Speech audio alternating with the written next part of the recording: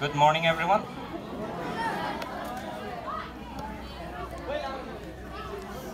Uh, kindly please maintain this side. Please, all the guys, all the volunteers, please check this side.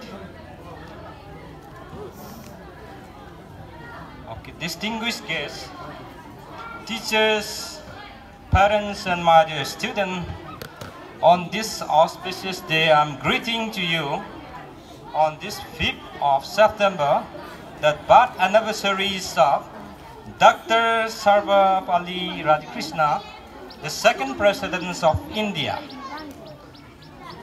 I give my immense pleasure to greet and wish you on this day on behalf of the management of the Royal Brighter Academy, SORA. The Brighters Academy celebrates the Teachers' Days every year to value you, dear teachers, and deeply appreciate your commitment and teaching the students of this institution. Teaching is one of the noble professions of the world.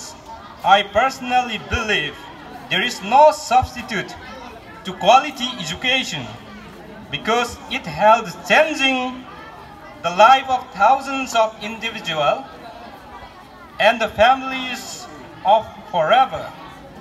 More importantly, it is more critical to growth of the developing nations like India.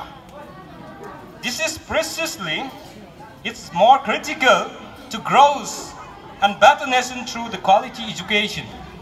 I wish to take this opportunity to thank you, your invaluable contribution to the institution over the year. Once again, I would like to wish you, each one of you, Happy Teachers Day.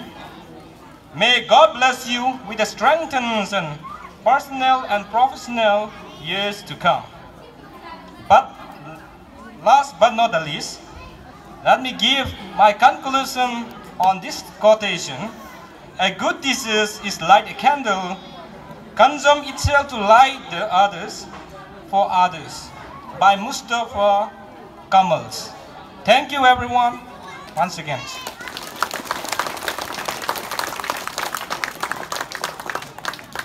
Thank you, Sarvispal. Next, I would like to call upon the stage Sahani and party